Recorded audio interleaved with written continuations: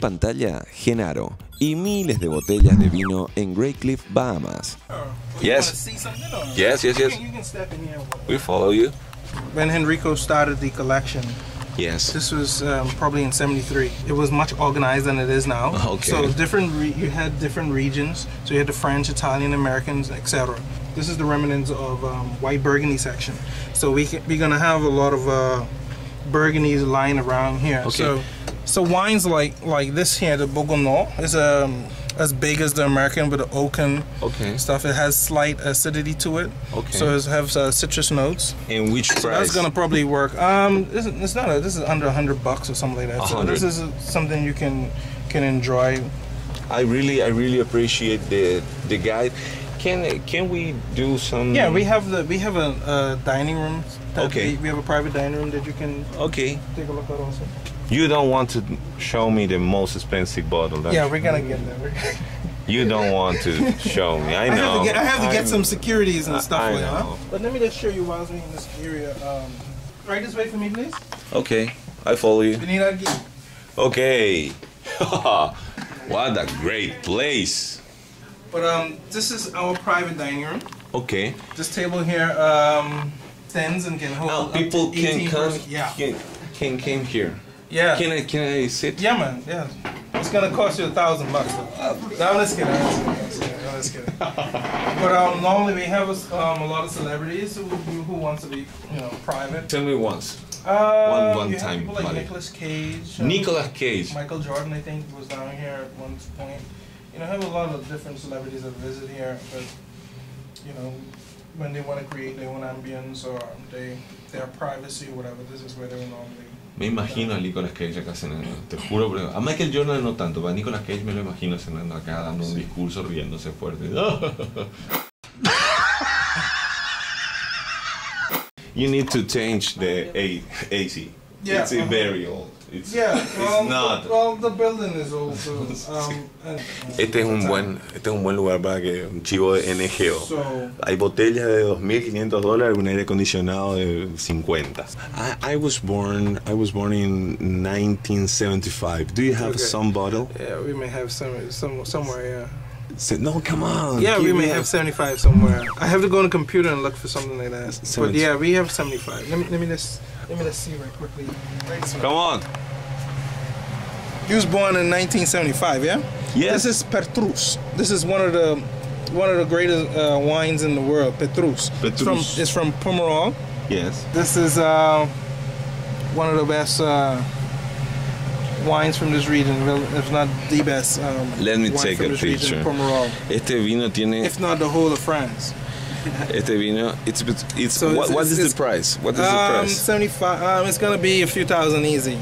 We'll we'll we'll find it to the end of the when we come out, come out there, but it's gonna be a few thousand dollars easy. Thank you.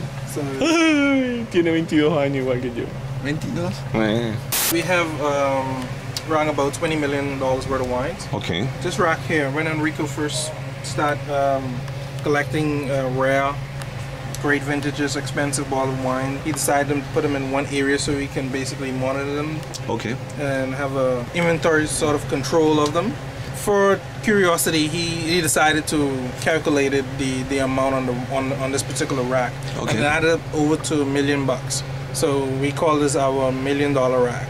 So wines in this rack is going to be from the mid 1800s, mid 1900s. So you're going to have your Chateau Lafite, your first growth. So your Chateau Lafite, Chateau Latour, Haut-Brion, Mouton, um, even Chateau d'Yquem here, and they're going to range from about I would say ten thousand to about twenty thousand dollars average For a bottle. for a bottle. A Chateau Latif? Chateau Lafite. Hmm? Lafite. Yeah. Casi. Well, this is. Yeah. Well, this is um not very old, but this is 1934 Chateau Lafite. Let's see if we can find a much older. I know we had a 1900 somewhere. Well, Okay, you're impressive. Yeah, yeah, yeah. You're impressive yeah, yeah. ourselves. So I'll have to get this because this can age for a very long time. This is a Chateau d'Yquem. This is 1875. what? And, and what? Which is the price for this? Maybe over twenty thousand dollars, something like that. Can age for a very long time.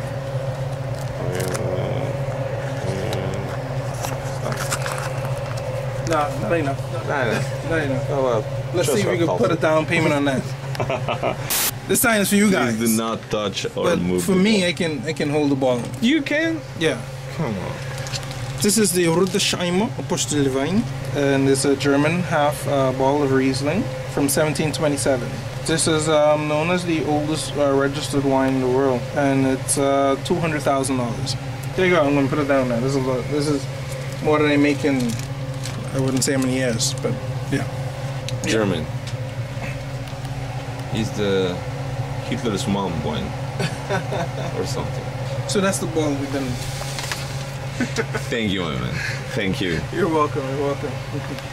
Desde Greycliff, Greycliff, perdón, desde Greycliff, desde las bodegas, pasamos a otra área mucho más importante y menos de precio. Parece respirar te sale como de 100 dólares acá, así que vamos yendo. Un lugar impresionante, que aparte de ser hotel boutique, también es fábrica de chocolates y habanos.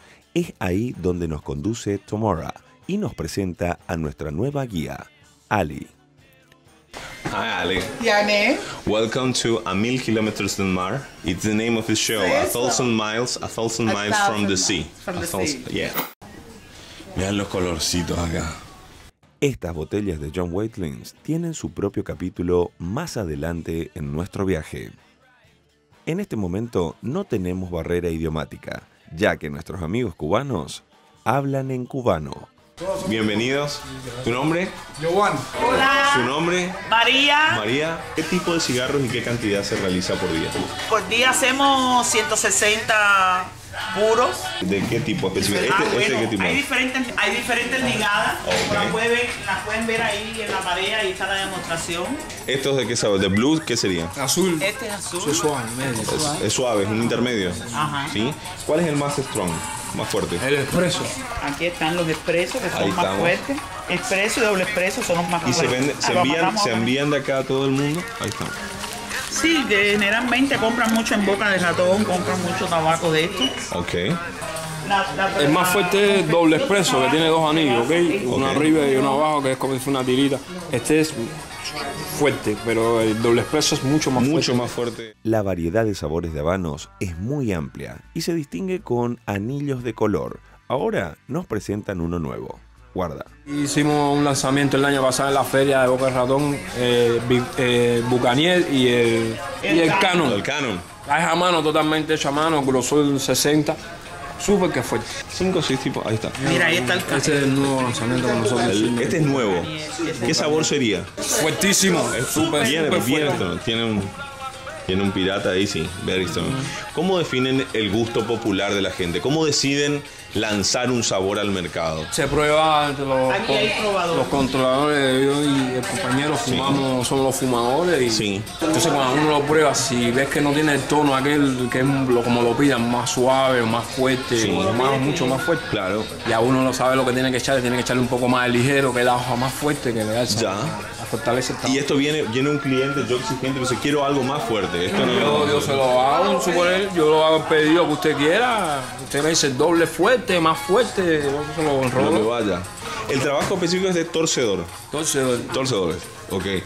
Compañeros, muchísimas gracias. Este, mira, aquí tenemos para damas. Este normalmente las mujeres eh, es más fino, ¿ves? El más fino que tenemos. Y es suave. Esto es las damas lo fumamos mucho. Bastante seguido. Sí. una mantelita. Ok. Panetelita. En Paraguay le dicen naco. Naco. Naco. Naco al cigarro. Pero bueno. Gracias en serio. Ay, encantada. Cigarro Poguazú.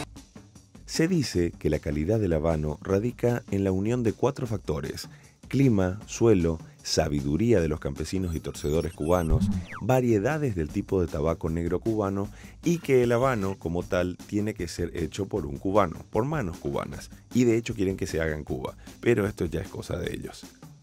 Esta fue la experiencia en Great Cliff, eh, acá en Bahamas, una experiencia traída por Intertours y Copa Airlines, señoras y señores. Yo en realidad me despido formalmente, pero vuelvo por más chocolate, ron, habano y vinos de 20 mil dólares. Mamá.